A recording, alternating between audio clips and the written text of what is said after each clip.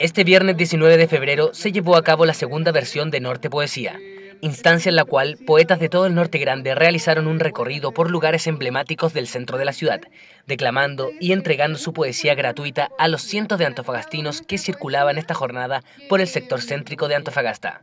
La actividad comenzó alrededor de las 10 de la mañana en el Museo Regional, donde los poetas expresaron algunas de sus creaciones a los asistentes, Luego, se realizó una caminata desde allí y por todo el Paseo Prat, anunciando y cautivando a los transeúntes con los originales poemas de estos artistas.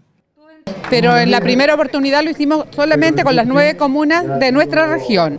Ahora la apuesta es más grande, ya que invitamos a, creadores desde Arica a Coquimbo, o sea, todo el norte grande bueno, se gesta por unas ganas de demostrar que la poesía está viva, de que todo es poesía, como yo lo decía hace un momento, el mar, el desierto, todo puede ser poesía. La gente todo el día está viviendo en torno a la poesía y no lo sabe. Bueno, esa es una, idea y de unir también a los creadores del Norte Grande porque tenemos una historia común, una historia que tiene que ver con mucha sal, con mucho sol, con mucho salitre y minería.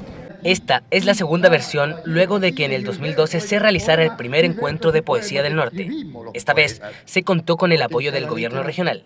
Los poetas se mostraron muy alegres de que se les dé este espacio para mostrar su arte. Realmente nosotros somos poesía. Usted es poesía, la camarógrafa es poesía, la vida es una poesía. Porque todo lo que nosotros hablamos, hablamos en poesía. Simple y llanamente que hay la mayor parte de la gente que no tiene el sentido más digamos, avanzado. Pero todos somos poesía. La vida en realidad es una poesía. Oiga, ¿y nos puede deleitar con un poema cortito para...? ¿Para quién? Los televidentes. Ah, yo creí que era para la camarógrafa. Ah, también puede ser. No, claro, dice... Si la belleza del universo a mis manos pudiera llegar, formaría un ramillete de astros y decirte que te quiero amar y si las estrellas, si las estrellas hablar pudieran, mensajes de amor te enviaría para adornar de palabras tu belleza y también alegrar la vida mía. Pero tengo en mi alma la riqueza, el tener el amor y tu pasión.